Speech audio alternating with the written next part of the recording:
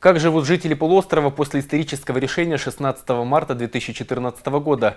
Увидеть реальность своими глазами и узнать ответы на все волнующие вопросы от участников Крымской весны. Именно за этим в республику прибыла очередная делегация индийских журналистов. Акул Пера из Южной Азии встречал лично вице-премьер Крыма Дмитрий Полонский. Что интересовало гостей, смотрите далее. Делегацию журналистов из Индии встречают без официоза, по-братски. Вместо хлеба и соли – памятные и полезные сувениры. Календарь с пейзажами полуострова, блокнот и книга, посвященная событиям в бывшем концлагере на территории совхоза «Красный». Если уж журналисты пожаловали за правдой, то и про историю забывать не стоит, уверен вице-премьер республики Дмитрий Полонский. Он рассказал представителям индийской прессы о всекрымском референдуме, достижениях за год в составе России и перспективах свободной экономической зоны. То, что они ездят и смотрят, это, конечно же, полностью ломает те стереотипы, которые пытаются сформировать в западных средствах массовой информации.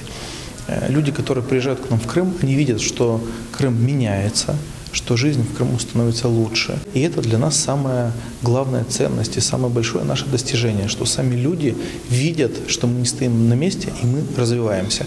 И нам очень важно, чтобы средства массовой информации будут ли они индийскими или они будут э, из другой любой страны, чтобы они доносили э, жителям тех стран, куда они приезжают, правду. Акул Пера интересовало все, от событий Крымской весны до планов правительства на ближайшие пять лет. Но особое внимание журналистов к празднованию 70-летия Победы. Трагическую страницу истории нашей страны они чтят как свою собственную. Знак Победы.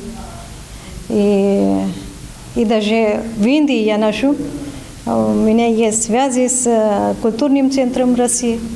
И я хожу туда. Тоже у меня есть, э, значит, э, я часто пишу на отношениях Индии и России.